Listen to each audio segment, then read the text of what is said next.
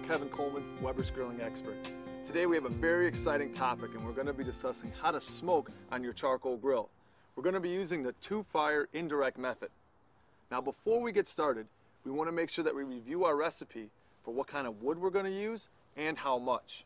Now when smoking on a charcoal grill using the indirect method, we recommend using wood chunks. If you don't have chunks, you can always use wood chips, but you want to make sure that you soak those for at least 30 minutes because we want those to smolder throughout the cooking process. If you don't soak those, they're going to fire extremely quickly and you're not going to get a lot of smoke flavor. Now we don't need to soak wood chunks because we're not going to get any penetration into the wood, but we will get a nice prolonged smoke throughout the cooking process. Now let's set up our charcoal grill for indirect smoking. Light the charcoal. More often than not, you will need a small bed of charcoal for smoking, so start with the chimney filled about halfway. The swinging handle above the chimney starter is there to help you lift and aim the chimney where you want it. Be sure to wear insulated barbecue mitts when handling the chimney starter. Also, make sure to sweep any ash that accumulates on the bottom of the bowl and leave the bottom vents open all the way. Pour your lit charcoal onto the charcoal grate or in the char basket. I'm going to be using two barbecue mitts because the chimney starter will be warm. Put the empty chimney starter on a heat-proof surface away from children and pets.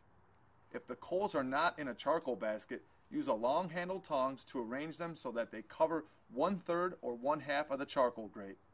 It's okay if the coals are piled one or two coals deep, but no more than that. Remember, you will probably need medium or a low indirect heat, so start with a small amount of charcoal and add more later as needed. Now when smoking on your charcoal grill for over 30 minutes, we recommend using a water pan. And we're gonna fill that three quarters of the way and place it on the empty part of the charcoal grate. Now if you want to enhance the flavor, you can always use beer, fruit juice, or wine instead of the water. Fill the pan about three quarters of the way with water. The pan will catch any juices and fat from the food. Plus, the water will absorb and release heat slowly, evening out the temperatures and adding a bit of moisture to the smoking process. Preheat the grill. Now we're going to add our cooking grate to our charcoal grill. Now if you're using a hinge grate, make sure you put the hinge side over the charcoal. This will make it easier to add fuel throughout the cooking process. Then put the lid on the grill and open the top vent completely. Wait until the temperature reaches the right range for the recipe you are making. Keep in mind, as the charcoal burns, the temperature will drop. When the temperature reaches the upper end of your desired temperature range, remove the lid and use a long-handled grill brush to scrape off any bits and pieces of food that have been sticking to the cooking grate. Now that we've preheated our charcoal grill, we're now going to add our wood chunks or our wood chips. Add your chunks, and if you're using chips, they should be damp, but not so wet that they could put out the fire. The damp chips will initially drop the temperature of the fire, but the heat will recover once the chips begin to smolder. Put the lid on the grill and wait for the smoke to start pouring out of the grill. Open the lid and arrange the food on the cooking grate as the recipe suggests.